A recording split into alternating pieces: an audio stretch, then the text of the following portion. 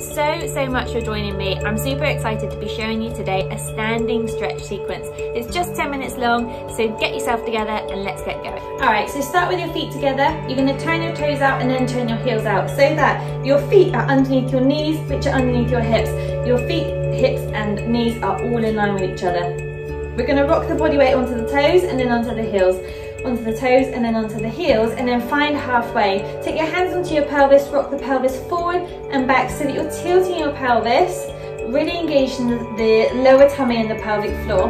So if all the way forward is 100% and all the way back is 0%, find halfway, find 50%. Pull the tummy button into your spine, stand up nice and tall and relax your fingertips down by your sides. We're to do some big shoulder rolls, taking the shoulders forward, up, back, down and around. Feels so nice the body moving around in a big circle. Really get the shoulders moving as much as you can.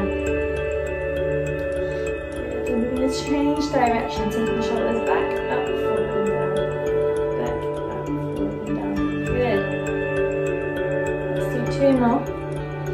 Going to do one more. Good, then taking the arms up, all the way up to the spine, taking them back around in a big, big circle. And again, taking them forward, up,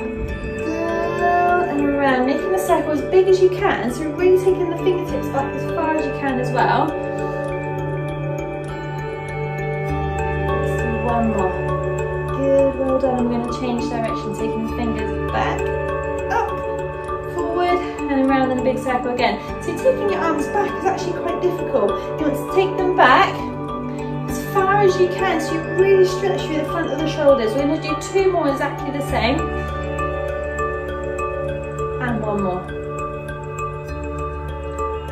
Good, and then we're going to bring the chin to the chest. And we're going to imagine there's a, a marble between your chin and your chest. You're going to rock or roll the marble from shoulder to shoulder.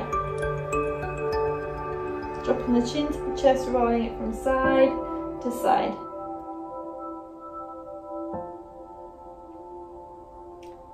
Good, and the last one. Perfect, then bring the chin back down to the center and then look up in, in front of you. We're gonna look as far over to the right as you can, then look as far over to the left as you can, looking as far, far, far over your shoulder as you possibly can, so you get a nice twist through the whole of the upper vertebrae. Then if you look right as far as you can, drop the chin to the shoulder, then look up again. This time, uh, taking your ga gaze over towards the left, then looking down towards the shoulder, then looking back up again and back to the center. Perfect. Now we're going to bring the right ear to the right shoulder. I should go for a nice stretch all the way down the side of your neck here. Then take it back to the center and then left ear to left shoulder. Back to the center. Good. Right ear to right shoulder center and left ear to left shoulder. Beautiful. Now taking the right ear to the right shoulder, then look down to the floor and you'll feel the stretch go from the side to slightly towards the back of the neck. Then look up in front of you again with your right ear to your right shoulder. Come back to the center, to take left ear to left shoulder. So you feel the stretch down the side of your neck and then you're going to look down to the floor and you'll feel the stretch go towards the back of the neck then. It feels so nice. Then look straight back up in front of you and head comes back up to the center. Perfect, well done. So I'm going to turn to the side so you can see what I'm doing now. You're going to take your hands out to the side, take them up in line with your shoulders and you're going to curve the back, bringing the hands forward. Imagine you're hugging a big teddy bear, link the fingers and push the fingertips away, tuck the chin to the chest, pull tummy button into your spine, really stretching between the shoulder blades. So you're opening up between the shoulder blades, imagining that you're hugging a big teddy bear. And you're to take the hands behind your back, link the fingers behind you, and then push the fingertips down towards the floor, stretching across the shoulders, the front of the shoulders this time. Look up towards the sky as well, so you're really opening up across the chest and the tummy. Good, then breathe in, arms come up to the shoulders, and then you're gonna take it forward again. So you're making that C shape with the spine, tucking the chin to the chest. Imagine you're hugging a big teddy bear or a big tree. Tummy button into the spine, already said that. and open up the arms. So your thumbs are pointing upwards, then you're going to turn your thumbs under, then you're going to take your fingertips behind, link the fingertips and push them away from you, taking your fingers down towards the floor, open up across the chest, kind of look up towards the ceiling, but not all the way up. You don't want to crunch your spine, so you're kind of looking up towards the corner of the room if you like. We're going to do it one more time. So the arms come up in line with the chest, with the, with the shoulders. Breathe out. Form a C shape with the spine. Lift the fingers, tuck your chin to the chest, tuck tummy button into the spine. Really enjoy the stretch across the top of the shoulders.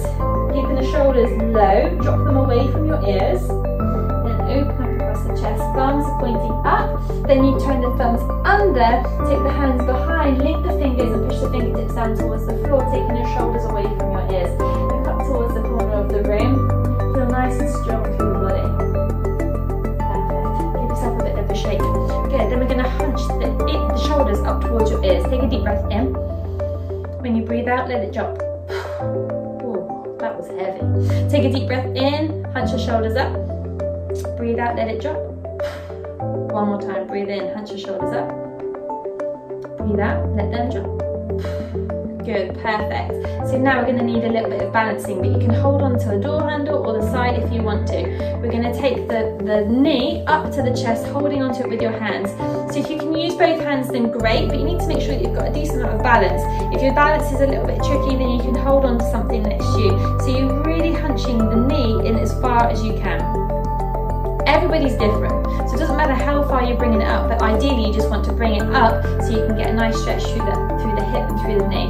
We're going to change sides, so you can either turn around or you can uh, work out what you're doing with your arms so that you're not crossing over too much. So you've still got your hip, your knee and your ankle all in line with each other, holding it there nice and strong. Perfect, relaxing it down. We're going to do some hip circles now. So taking your hips around in a circle, big, big circle, sticking your bum out backwards as far as you can, then bringing it forward. So you get a nice stretch through the side of the body. We're going to change direction through the hips and through the glutes as well.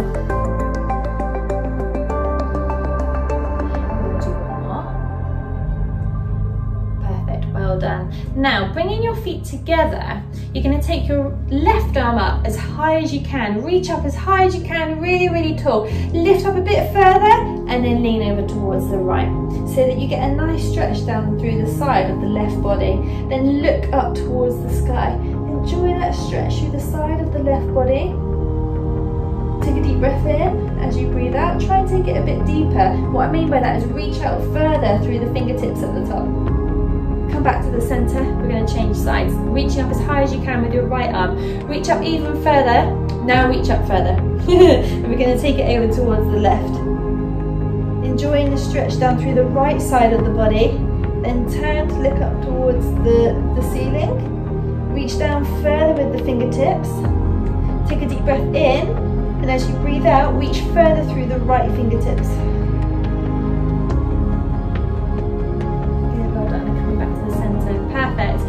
Going to do a nice shoulder stretch. We're going to take the left arm out to the side. We're going to take it across the body. Now what's important here is that you don't let your shoulder hunch up. You want to keep your shoulder down. You take the arm across the body and then you can use your other arm just to help it come across a bit further. So try not to force it. Try not to let your shoulder shrug up either. You want to keep it low. Enjoying a nice stretch across the body.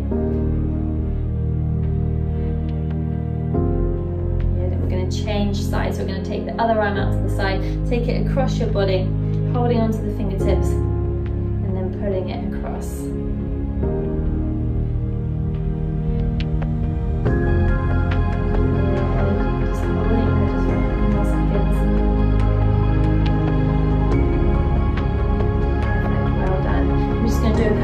Leg stretches to finish with. So I want you to take your right foot behind, push the heel into the floor, Place your hands into your hips, bend the front knee and then lean forward from the hips. So you get a nice calf stretch. Really, really nice. Enjoy that. Pushing the back foot into the floor. Take a deep breath in. As you breathe uh, up by your ears. Enjoy the stretch through the full body. Then we're going to take both knees into the center. So your body weight's in the center now.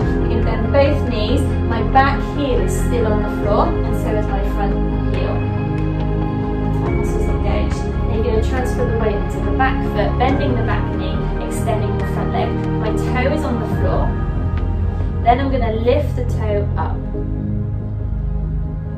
Beautiful. Go on to the other side. So starting with your feet together. You're going to step back with the left foot. You're going to push the left heel into the floor, bending the front leg. Keep the, keep the left heel pressing down into the ground. Then lean forward from the hips. Keep breathing in through the nose, out through the mouth. Then we're going to reach forward through the fingertips, up by your ears, elongate through the body, hands onto your hips, move your body weight into the center and bend both knees, keeping both heels on the floor.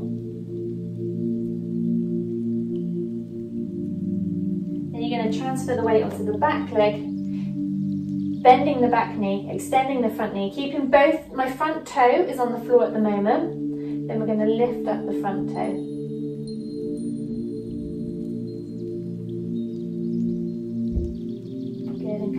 Centre. Give yourself a bit of a shake. Well done guys. Thank you so much for joining me. I hope you enjoyed that standing stretch session and I'll see you back here again soon for a seated stretch session. Thank you so much for joining me. I hope you really, really enjoyed it as much as I did. Remember to like and subscribe and I'll see you again super, super soon.